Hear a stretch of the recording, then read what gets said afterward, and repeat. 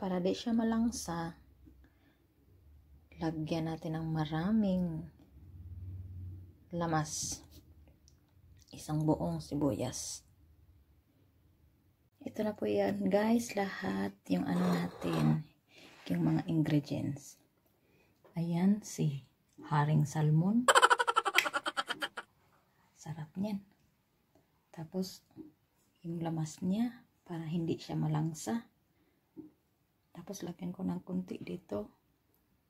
Kunti lang kasi base mo sakit na amo ang tuhod.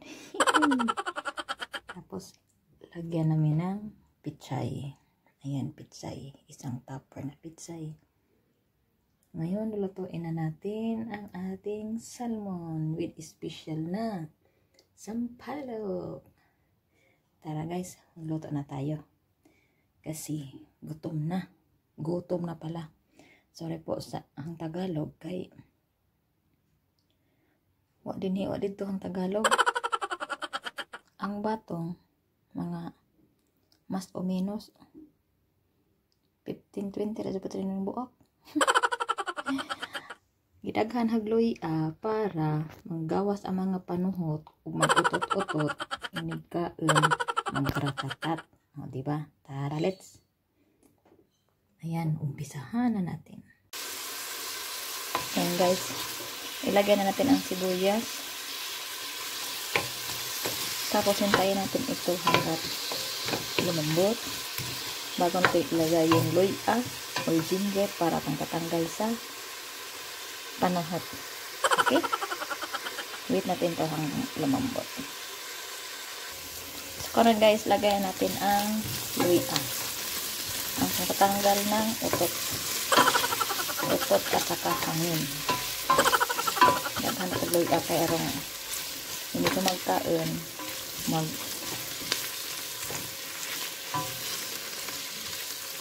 malakatat ang puwit tapos hintayin natin maluto yung luya saka natin ilagay yung salmon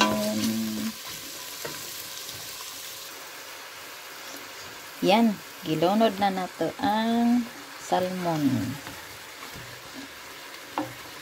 tapos lagyan natin to ng tubig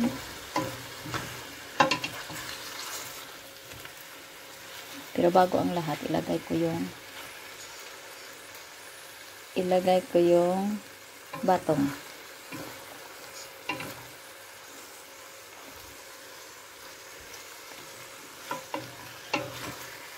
Ayan. Andyan na po yung salmon natin. Nilagay ko na yung batong guys. Bago ko lagyan ng tubig. Kasi gusto kong magisa mo na siya ng kunti para mawagtang yung langsa. Alam mo na yun salmon. Sobrang langsa yun. Kaya gusto kong magisa muna bago ko lagyan ng tubig.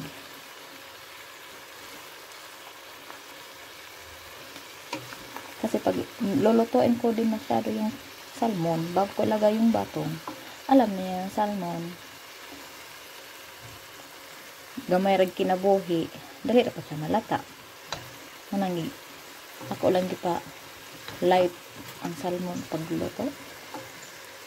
Tapos ang balitok-balitok, yun yung batong.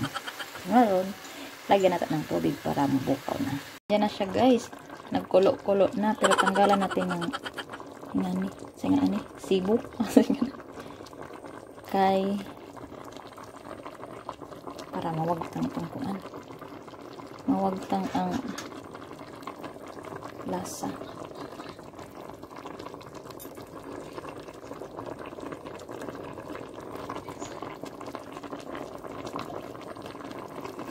Tapos, lagay natin tong kamatis.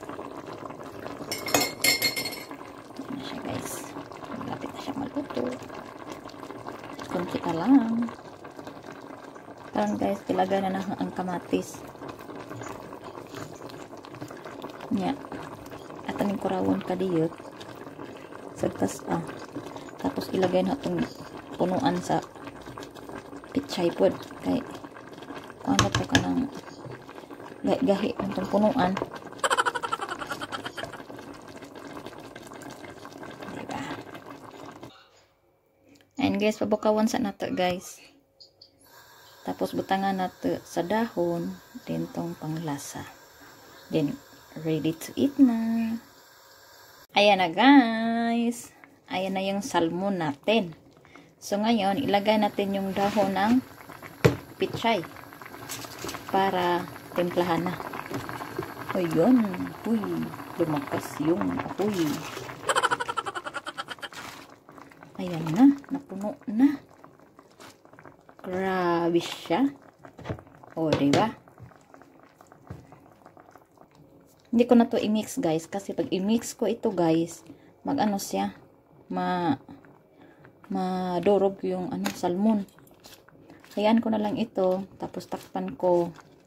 Tapos ipakita ko sa inyo mamaya, tapos lagyan na natin ng sikretong pampalasa. O, ba? Sarap na ito sa malamig na panahon. So, ihanda na natin ang lamisa, guys. At malapit na tayong kakain. Para mamaya tikong-kong balik sa kwarto kasi malamig na. Ayan, ayan na guys. Luto na siya. Tapos ngayon, lagyan na natin ng pampalasa. Ang ating sekreto na Tadang! Mamasitas!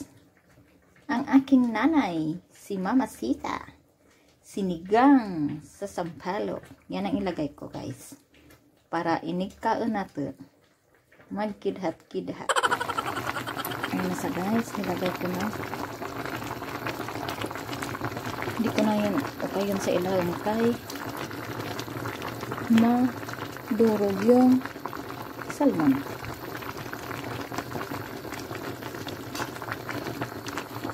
Ayan. Salamat, salamat sa ating pambansang lasa. Ay, hindi pala. Secret na panglasa pala. Ayan.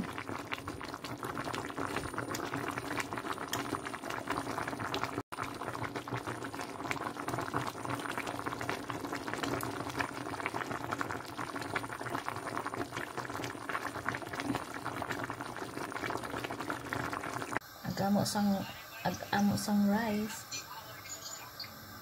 Ready na po. Ready to bambam na.